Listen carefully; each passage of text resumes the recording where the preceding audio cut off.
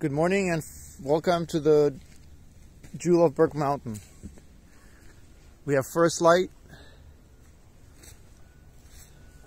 First light is the best light. And we're hoping to maybe run into some animals since I didn't do a pre-walk in here. Good morning everybody here. Yeah, we got standing ovation here from our friends. These big trees. All right. So this is going to be a quick video, not a long video. It's just going to be a quick video on this first light. How killer this place is in the morning. How someone could be so uplifted by going to a place like this. I'm doing some uh, a bit of parkour on these trees. Uh, all right, so yeah, this is as wild as it gets, dear viewer. As wild as it gets in an urban setting. Uh, last night, the uh, Burke Mountain Naturalists put on a symposium regarding urban forests. There was a uh, District of North Vancouver Forester there, uh, and everybody who in Who is Who in uh, Saving a Tree was there. Good timing. I handed out a lot of cards that basically had the um, link for uh, the change.org, which uh, we're operating under, which is stop the destruction of the last cedar forest on Burke Mountain. Um, so there you go. Basically, that is going to give a serious parabolic spread.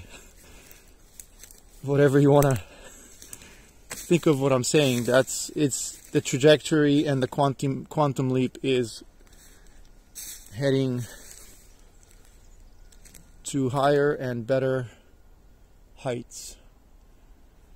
This is the third day of the launch of me trying to save this forest on change.org, on Instagram, on Facebook. Um, there's has to be a lot said about this forest. Uh, there was a lot of talk about uh, stress on trees due to climate change or just, you know, the, the warming. And also those heat domes that happen. So the shed, the, the trees are shedding limbs and to save themselves and things like that. So, but uh, at the end of this video, I'm going to put in uh, the uh, the ever first ever video I put on here, which was about saving this forest and at the near the end of it it's just a shorty because I won't you know link all the different videos together as the other uh, videos on my channel which is Lou's tools L-O-U apostrophe S tools. Um, but th that video will you'll see that there is an aquifer underneath underneath this forest. So these cedars need a lot of water they like the water. They, they drink it up. So they've they've just done fine here, but yeah, the climate is changing and basically that's what this forest is going to have in its back pocket is that aquifer that's underneath it. Uh, you can see Burke Mountain back there. Yeah, it goes to the top. It's been chopped up, but the water's still draining underground to this flat land. This forest is pretty flat. And what's underneath a flat piece of land that's got water draining into it from the top of the mountain? An aquifer. Um, and you will see uh, in the video that's getting all the hits for uh, for this saving this uh, cedar forest uh, near the end of it, I go into the summer bear den down below this lot. And uh, what's there? An elevation change, a little elevation drop. And uh, spring springs out, which represents the creek, one of the creeks that's in that wetland below. And uh, that's what's draining this land. Look at this tree. oh, there's a, a friendly hemlock. And a hemlock behind that. This is a cedar. Yeah, that's just killer. Yeah. Uh, this symposium that was put on last night, people were not aware of this forest, and uh, this is to make you aware. Go to change.org. Uh, under stop the destruction of the last cedar forest on Burke Mountain, and you'll see all the links there for the mayor, the councilors to go, uh, the ministers. Contact them, tell them how you feel. Uh, this has to go. That's a bad word to use, viral, but you know, the creation of a park in a place like this. Is it is there anything else we could do? No. No, there's nothing else we could do with this piece of land is just to turn it into a park. Urban forest is so important. This is going to be a heat sink, right? Heat sink holding water, giving us oxygen. I've talked about the myriad uh, range of poisons that forests filter. Um, you know, all the stuff we put in the air, they filter it. They hold the water, they hold the moisture. This forest has the ability to save lives, actually. You got a heat dome, people will pack in here, put some benches in here and a playground in the middle in the in the uh, in this uh, meadow right here. Right? This has been you know, let go afoul a little bit. There's anybody can comment on what this plant is. It's growing like a weed everywhere. This could be invasive. It's kind of a green, smooth bark. Um, I'll do a focus on that. Uh, yeah, I'll check into it, but if anybody can comment, that would be fantastic. So, yeah, this forest is going to save lives right? There won't be, uh, you know, your elderly parent will be walked in here in arm in arm and and they won't die, right? Because they're not going to be stuck in their house. And there be there will be a lot and, and a lot and a lot and a lot of townhomes around here. Look at this biomass. Okay, do you see what I'm walking at? Walking on? Um, there is a ton and ton of forest biomass that has fallen, rotten, fallen, rotten, fallen, rotten. Look at this forest floor. It's wet. Yeah. She's wet. Well, why is that, right? Because that biomass is holding all the moisture. Yeah, and there's a lot of deadfall in here. You can see the the winter winds and the storms and uh, the snow has a does a bit of damage, right? Uh, that's pretty normal. I'm just gonna walk to the back 40 here, and uh, I did a Facebook video yesterday with Anya, uh, and it's just killer. That was uh, I had my gimbal in my hand. I was flying between the trees to the music, high up on the snow over here. That was I'll never forget that. That was like a transcending experience. All right? The music together with these trees. This is what I'm talking about right here. So, but we got to talk about who lives here first and foremost. because we can save lives by putting this under uh, endangered forest list in our minds and get and put the pressure on the city and the world to do something about saving this giant biomass of a forest. But who are we going to help in the end? I'll give you a list, okay? So the summer bear den is number one. Down below, um, if you check into what is going to happen on the uh, southeast of this block, just down below, down Rockland here, there's another development going in there, coming really close to the creek allowance, like a two meters or something. And on the back side, the west, uh, the southwest side, on the other side of the lot, there's another one on the bottom where the creek comes out. So that bear can at least come up here at night and get holed up in one of these big cedar giant stumps that are all over the place. So, and the mama and the bears, uh, yeah, I've watched them all basically for a year. Since they were babies, they look like squirrels climbing the trees. Um, they've been frequenting everywhere here, day, night. Mama's really friendly. Uh, not too close, but close enough. I've been surrounded by five bears before. Didn't do video because that's not something you do video of. You just don't. You take that and put it in your heart. Because mama and two cubs and two brother bears that hang out here down from, from down below uh, where Corey is, they come up every day. At the end of the day, they come up here up the sidewalk.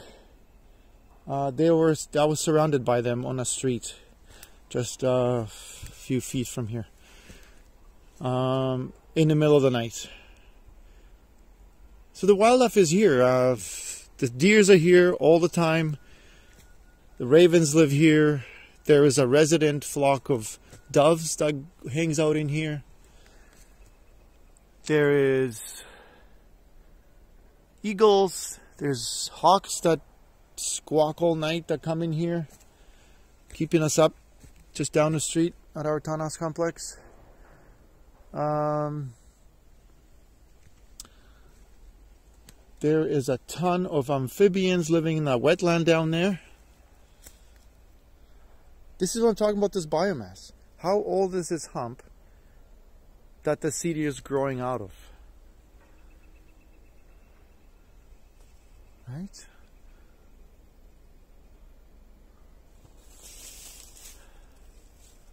Yeah, there are so many microorganisms in this biomass. This forest floor biomass has got to be a few few feet thick. You got the root network under that. And the just the level of uh, survival that is happening here. You got all these trees fighting for light. This is like origami over here. Look at this. Cedar came up,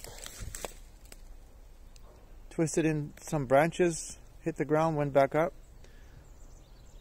Two trees were born there. And there's another one joining them off to the side. This place is wild.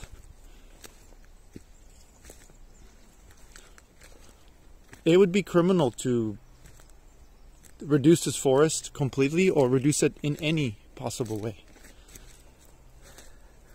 And this first light, did you listen to my voice from the beginning to now?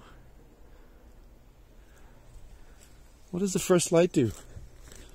Right? You go for a walk and you go for a run in here in the morning through the trails. You will be a changed person. The government does not have the right to manage our psychological state. Effectively, that's what that is. Destruction of a forest is managing psychological state to the depressive state. Think about that. We do not live in a nanny state. We need to stand up. This is not a totalitarian system we live in, and it's not a democracy either. So we're not going to make some. I'm not going to make some democ- democratic remarks because there's a few people, only a few people, and the developers are making a decision for a forest like this.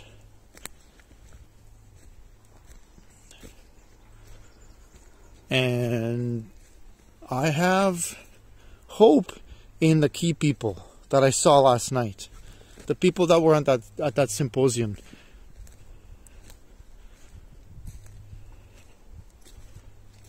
No, you can't can't stop development. No, you can't. She's outside. Mama's right here. Check it out. Yeah, she's getting some light there. You can't stop development, but you can make a park. And just be done with it. Just be done with it. And maintain it. And then make that your business card. Right? City of Coquitlam has a giant cedar park. Thank you very much. Over and out, right? People will come, see it. Amidst all the development that'll happen all around here, the community center up there, it'll be just a short walk through a trail to this park where you can grab your, grab lunch and breathe in some oxygen. Right?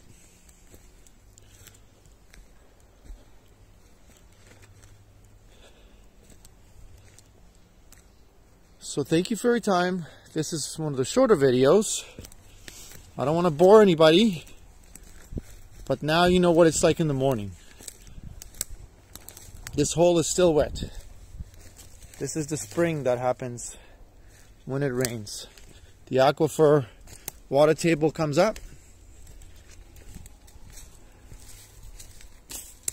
Right? But I'll link that, I'll put that little bit of a video, I'll chop it up and just put that piece of video where this hole is full of water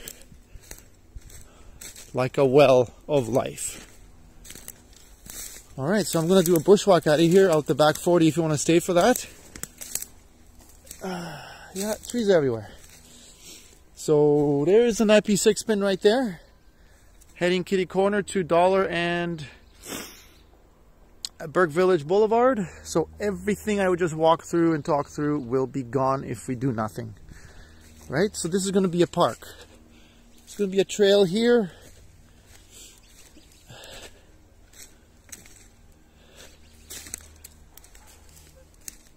It could be a circumference trail like most parks have and then trails back and forth and then a handicap trail for uh, look at that. Hello. For wheelchairs. Yeah, I mean, money cannot buy what I'm showing you here. You can't grow this, right? This is, yeah, I'm hoping to get into a cougar or a bear in here. Oh man, just the odd chipmunk over there. All right. soon enough, the bears will come out. Then we can have them on video. Yeah, the moss grows everywhere here. This all this keeps the moisture. Look at this place. This is West Coast. This is as West Coast as it gets. All right, there's a bit of a parkour situation here. These slippery logs. You know, wild, right? Like, look at this tree here. It's growing into a root network down there and then up, and there's trees coming out of it. Yeah, it's uh, just wild. So now I'm stepping into the quote unquote, I don't know, riparian area, riparian area, because uh, the pins are just over here. They run them that that way, but uh, who knows what they've got planned here for uh, saving this summer bear den. Yeah. Good morning, anybody? Is anybody home? Yeah. This is a summer bear den right here. Lots of shade for the bears. Lots of bed down area. Creek right there. You can drink the water. And the grandeur.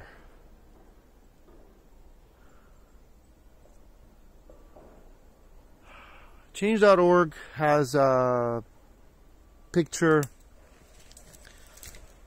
addition problem right now. So you have to come here and see this property. Just uh, come up Rockland. Um, or drive up Mitchell. Park your car there and bust a right east on Park Village Boulevard and then this property's top, the top of this property is on Burke Village Boulevard.